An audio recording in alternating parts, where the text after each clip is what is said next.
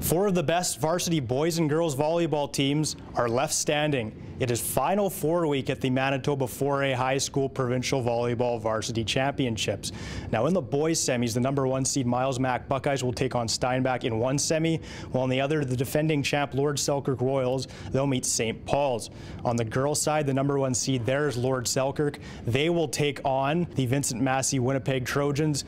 And in the other semi, it will be number two seed MBCI, the defending champs there, and they will take on St. Mary's. We caught up with some of the players and coaches of those teams. Always is pressure if you're the number one seed. Uh, this year, the top four seeds have all beaten each other and, and taken turns uh, being on top.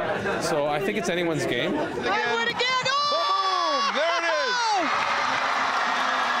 Selkirk. What a match. I don't know if it really mattered if we had enough returning guys. I just think we had a great group of core guys to get to this Final Four and compete with the top teams in the province. Definitely having an older group. Um, that's an added benefit against some teams that have some younger, um, some younger kids on their team, um, and just um, they've had lots of experience, uh, especially being in a situation like last year where they played in the big university. Um, they're prepared for what's to come.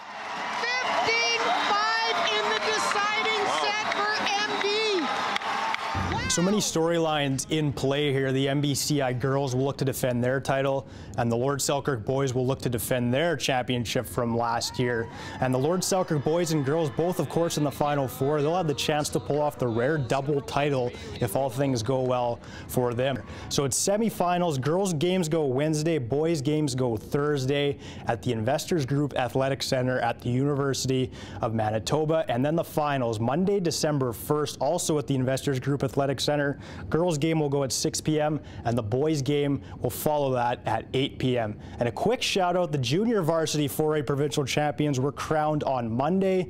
The girls champs are the St. Mary's Flames and the boys champs the Miles Mac Buckeyes. For Go Winnipeg, I'm Kevin Hirschfield.